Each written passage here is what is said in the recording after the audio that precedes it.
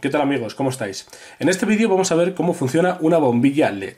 Vamos a ver los componentes que la constituyen y también las averías típicas, aunque ya os adelanto que estas bombillas no están diseñadas para repararlas. ¿Queréis saber más? ¡Comenzamos!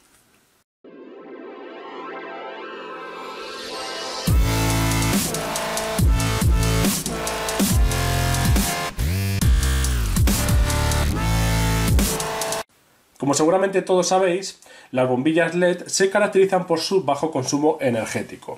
En este caso, la bombilla que estáis viendo en la imagen tiene una potencia de 6 vatios, nos proporciona 560 lúmenes con una temperatura de color de 4000 Kelvin. Es una luz fría, por tanto. El grado de protección es IP20 con un casquillo E14. Si observamos la bombilla en el exterior, vamos a ver que tiene el casquillo E14, ya sabéis que la E viene de Edison, que fue el que diseñó este tipo de casquillos. Está el E14 y luego el E27, que es un casquillo de mayor diámetro. Este es E14 y el otro es E27. Bien, en la parte intermedia tenemos esta estructura de plástico que dentro lleva la misma estructura de aluminio, porque eh, aquí vamos a encontrar el driver del LED, que ahora veremos lo que es, y es un dispositivo electrónico que genera mucho calor.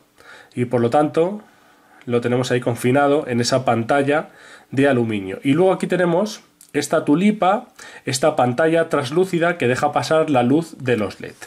Esta es una lámpara que yo ya tengo desmontada, como vais a ver, donde podemos ver el driver, ahí lo estáis viendo. Esta sería la parte que falta de plástico, ahí veis las características eléctricas que antes os dije, y aquí tenemos parte de esa pantalla de aluminio que recubre todo el interior. Aquí veis el plástico y ahí la pantalla de aluminio. Como os decía en la introducción, estas lámparas no están pensadas para su reparación y mucho menos para que sean desmontadas. Por lo tanto, es probable que a la hora de desmontarlas, si no lo hacéis con cuidado, pues sufran daños. Esta es la placa que llevan los LED. Como estáis viendo, en este caso tenemos 16 LED de tipo SMD. Y como sabéis, todos estos LED están conectados en serie uno detrás de otro. Y aquí tenemos los dos contactos, positivo y negativo, para alimentar esta cadena de LED que, eh, como sabéis, están conectados en serie y los LED funcionan con corriente continua. Si nosotros necesitamos aquí corriente continua y en la entrada o en la red de nuestra casa tenemos corriente alterna, alimentando aquí el casquillo, necesitamos un circuito electrónico que transforme esta corriente alterna que tenemos aquí en la entrada en corriente continua para alimentar los LED. Y eso es lo que hace este circuito que vemos aquí, que se denomina comúnmente como driver de los LED. Ahí estáis viendo las conexiones con el casquillo. ¿Veis? Hay dos resistencias y luego aquí tenemos un pequeño transformador, dos condensadores y algunos elementos soldados en la placa. Fijaos, esto por ejemplo es un condensador Aquí tenemos alguna resistencia y esto es un diodo. Ahora os explicaré con más calma cómo funciona, pero básicamente es una fuente de alimentación que lo que hace es transforma la corriente alterna que tenemos a 230 voltios 50 hercios en corriente continua. Y ahora veremos qué voltaje. Bien, si yo coloco los elementos tal eh, y como estaban dispuestos en la bombilla, originalmente este sería el montaje. El casquillo, el driver, la placa de LED, todos los LED en serie, conectados en serie y se alimentan por estos dos terminales. Y luego tenemos la pantalla translúcida que deja pasar la luz de los LED. Vamos a ver cómo funciona el driver y os explico qué averías podemos encontrar en él. Bien, aquí estamos viendo la parte del driver donde tenemos los eh, componentes soldados en la propia placa. Como veis son componentes muy pequeños como este condensador o esta pequeña resistencia que tenemos aquí para los que tenéis que tener herramientas específicas como un soldador de aire caliente, que ya hemos visto también en otros vídeos. Aquí tenemos el casquillo. Del casquillo tenemos la entrada a 230 voltios, 50 hercios, con dos resistencias que estáis viendo ahí. Esta está eh, dentro de tubo termorretráctil para evitar posibles cortocircuitos. Y lo primero que encontramos es un puente rectificador, un elemento que todos conocemos porque lo hemos visto ya en otros vídeos cómo funciona. Y lo que hace es en este caso, transformar la corriente alterna de 230 voltios en corriente continua a 230 voltios también. O sea que la salida Aquí es a 230 voltios en continua, diríamos. Después tenemos un elemento de conmutación. Es una fuente, por lo tanto, de conmutación. Y ese elemento es este integrado que veis aquí que estoy señalando ahora con el destornillador. Y lo que hace es transformar los 230 voltios a 50 hercios que tenemos en una frecuencia mucho mayor, desde 20.000 a 100.000 hercios. ¿Por qué hacemos esto? porque el elemento más caro en las fuentes de alimentación es el transformador, que lo vamos a ver aquí. ¿Veis aquí el transformador? Y este transformador, cuando trabajamos altas frecuencias, podemos primero disminuir su tamaño, como estáis viendo aquí, que es muy pequeñito, y aumentar su eficiencia, su rendimiento. Entonces, ¿qué hacemos? Tenemos aquí corriente a alta frecuencia, que de eso se encarga este conmutador, y de esa eh, corriente con alta frecuencia lo que hacemos es, lo metemos en el transformador, disminuimos el valor de la tensión o la aumentamos, depende si es un transformador, como también vimos, incrementador o reductor de tensión, y luego, veis aquí también tenemos dos condensadores de filtro, que estos tendrán un valor de eh, voltaje bastante, bastante alto, hay que tener cuidado con estos transformadores, tienen que estar descargados, y no sé si se podrá apreciar, pero ahí vemos 400 voltios. Son condensadores de filtro, como os digo, y una vez que hemos aumentado o disminuido esa tensión a alta frecuencia, que ya os digo que va desde 20.000 hasta 100.000 hercios, depende del conmutador que tengamos aquí, pues damos y para ello utilizamos un diodo de alta frecuencia y un condensador. Con la corriente continua que obtenemos después de este rectificador, este diodo rectificador de alta frecuencia y el condensador que la filtra, podemos alimentar aquí entre estos dos bornes los diodos LED, porque aquí ya tenemos corriente continua. De hecho, si os fijáis, aquí pone más y menos. Nos indica la polaridad. Pues bien, ¿qué puede fallar en un driver que alimente una placa de LED? Como esta que tenemos aquí. Puede fallar, en primer lugar, un fallo típico es el puente rectificador. Este puede fallar. Ya sabéis cómo se mide el puente rectificador, con prueba de diodos en el multímetro. También puede fallar este integrado que hace la conmutación, es decir, incrementar la frecuencia desde 50 Hz a 20.000 o más hercios. También pueden fallar los condensadores de filtro, estos dos que veis aquí. El transformador es un elemento que rara vez falla, de muchas fuentes de alimentación eh, que me he encontrado, el transformador es un elemento muy robusto que, como digo, es muy difícil que falle. Por lo tanto, eh, suele estar exento de averías, pero también habría que comprobarlo. Y por último, un elemento que también falla mucho es este diodo rectificador de alta frecuencia. Aquí también podemos tener averías.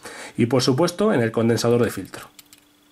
Y no tenemos más elementos. Bueno, por supuesto, tenemos una pequeña resistencia, aquí, tenemos algún condensador aquí que también podemos comprobar y que también pueden ser el origen de los fallos.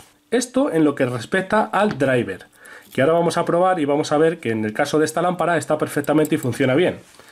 La avería más frecuente en este tipo de lámparas LED es que uno de los LED SMD sufra una avería y se queme. Por ejemplo, aquí está fácil de localizar la avería porque veis aquí un punto negro.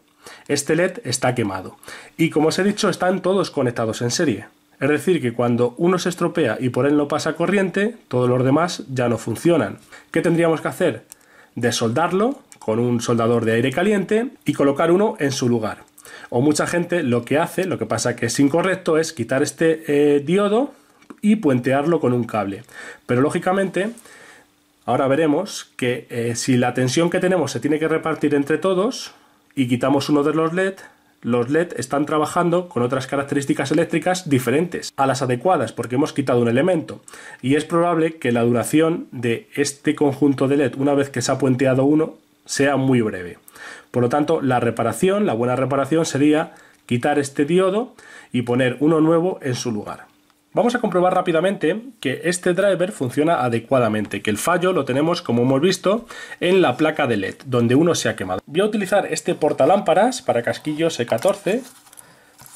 Recordar que experimentar con la corriente de la red es muy peligroso y por lo tanto no tendréis que hacer este tipo de experimentos en casa, puesto que son peligrosos y podéis incluso dañar otros circuitos eléctricos o componentes eléctricos que tengáis en vuestro hogar. Aquí tengo una regleta con el interruptor ahora mismo apagado que nos entrega 230 voltios, 50 hercios, la alimentación que requiere la lámpara. Tengo el multímetro, vamos a medir voltaje en corriente continua en la escala de 250 voltios. Puede medir eh, un poco más de 250, este tipo de multímetros. Las puntas y las puntas las vamos a conectar aquí. Fijaos que aquí teníamos el más y ahí el menos. Por lo tanto, voy a conectar este aquí y aquí el menos, con cuidado de que no haya posibles cortocircuitos. Estos son los cables de prueba que alimentan el portalámparas. Me aseguro de que no hay tensión en la releta, hago la conexión eléctrica y fijaos, no me marca nada, porque tengo apagado aquí el interruptor. Enciendo el interruptor y ahí vemos que me está entregando 300 voltios en corriente continua. Como vemos, el driver funciona bien y este valor de tensión es correcto. ¿Por qué 300 voltios? Os he dicho que, fijaos, aquí tenemos 16 LED. Si os fijáis, los LED están numerados. Aquí tenemos de 1, de 2, de 3, de 4, de 5, de 6, de 7, de 8, de 9, de 10, 11, 12, 13, 14, 15 y 16. Ahí lo podéis ver. Todos estos LED están conectados en serie. Si están conectados en serie, 300 voltios aproximadamente dividido entre 16 LED tocan a unos 18 voltios por LED y por lo tanto se alimentan a 18 voltios. No como otros LED que se alimentan a 3 voltios, por ejemplo, estos se alimentan a 18 voltios. Por lo tanto, para alimentar esta cadena de 16 LED, como estáis viendo aquí, necesitamos 300 voltios y cada LED va a consumir 18 voltios. ¿Qué es lo que ha pasado? Que este LED se ha quemado y ha interrumpido el paso de corriente. Por lo tanto, este conjunto de LED ya no se enciende porque por aquí no puede pasar la corriente eléctrica. Y esta que veis aquí es una de las averías más típicas de este tipo de lámparas LED. Y para finalizar este vídeo y demostraros que este LED que veis aquí que está quemado es el culpable de que no enciendan el resto de la cadena, lo que he hecho es, he vuelto a colocar la placa de LED, como estáis viendo, sobre los contactos positivo y negativo respectivamente. ¿Veis? Ahí veis la placa con el contacto positivo, el contacto negativo que sobresale por la parte superior y hace contacto aquí en estas partes metálicas. Esta es la disposición original que tiene la placa de LED sobre el driver y de esta manera le comunica la energía. Para demostraros que este es el LED culpable, veis aquí que he quitado un poco el aislante Veis ahí he raspado con las pinzas el aislante que tenía el conductor encima y aquí también. Y entonces voy a hacer un cortocircuito, voy a puentear este LED que está fundido con las pinzas. Veis que las pinzas están engomadas para que no eh, pueda sufrir ninguna descarga. Y voy a hacer contacto de esta manera para que pueda pasar la corriente eléctrica puenteando este diodo LED que está eh, quemado y el resto se encienda. Colocamos las puntas de prueba, primero me aseguro que la regleta está apagada, siempre, antes de hacer las conexiones, me aseguro de que la regleta está apagada y ya sabéis que este tipo de pruebas no lo podéis realizar en casa. Enciendo, ya tenemos alimentada la bombilla, pero como veis no se enciende y es debido a que este LED está interrumpiendo el paso de la corriente. Vamos a puentearlo con un poquito de cuidado y a ver qué pasa. Perfecto. Ahí estáis viendo que el conjunto de LED se enciende. Como os digo, lógicamente están trabajando en unas condiciones que no son óptimas, pero estamos aplicando un poco más de voltaje. Si antes eran 18 voltios, pues ahora en lugar de repartir 300 voltios entre 16 LED, lo estamos haciendo entre 15. Pero fijaos, si nosotros puenteáramos con un cable este LED, la bombilla funcionaría. Y como digo, esto es una avería muy típica y que podéis solucionar pues quitando este LED y volviendo a soldar uno nuevo en su lugar. Lógicamente, como os decía en la introducción, este tipo de lámparas no está pensada para su reparación y es muy probable que a la hora de desarmarla, como me pasó a mí, como estáis viendo aquí, le falta un trocito de plástico porque a la hora de extraer la placa estaba también insertada aquí en esta posición que tuve que hacer aquí un poquito de presión con un destornillador y se partió el plástico. Pero como veis, el único defecto que tiene esta bombilla es que se ha fundido uno de los LED. y ahí lo estamos demostrando. Bueno amigos, y como siempre, espero que os haya gustado, espero que os haya parecido interesante ver los componentes y cómo funciona una bombilla LED de este tipo y cuáles son las averías típicas. Un saludo y nos vemos en un próximo vídeo.